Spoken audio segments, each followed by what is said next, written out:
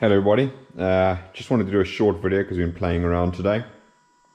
So we've already done a video on this harness and uh, we've now discovered the customer actually has a 3UZ uh, but he's also fitting a supercharger onto his 3UZ. So we've been working on how to resolve the issue, obviously with the fact that we can't really adjust the harness all that easily, etc.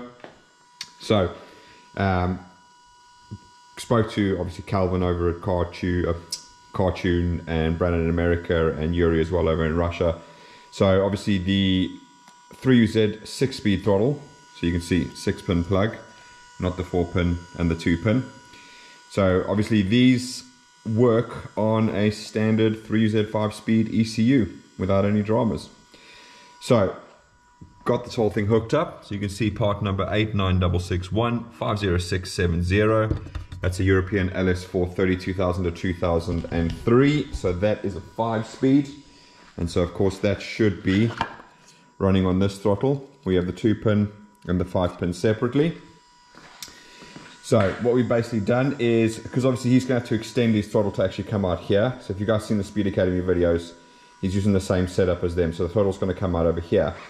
So effectively what we've done here is we've made a little extension harness we changed over the TPS connector to a 4-pin DTM. We changed the drive-by-wire motor connector over to a 2-pin DTM and they get a little bit of extra length on them so that he can move the throttle over to the side over here. But basically, little quick video, I wanted to show you guys, obviously we've got the same setup as before, but there you go.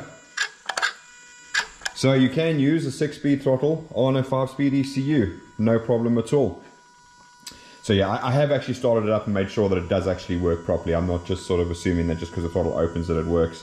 So this definitely does work. So hopefully that's useful to somebody. Uh, maybe you wanted to swap management over from like run your 1UZ VVTi on a 3UZ harness and ECU, etc. And you're struggling for a throttle body. There you go. Obviously on a standard on a standard throttle on a standard system you're going to have the separate TPS plug and the separate two pin plug so you will have to do something similar to this to bring the four pin um, four wires from the TPS over, you know, to the side over here, to this plug over here. But other than that, straightforward wire in and you're done. All right, so nice little short one. And if you guys have any extra questions, just give us a shout in the comments below, or you can find us on Facebook at Phoenix Engine Management. And we'll see you guys later. Bye bye.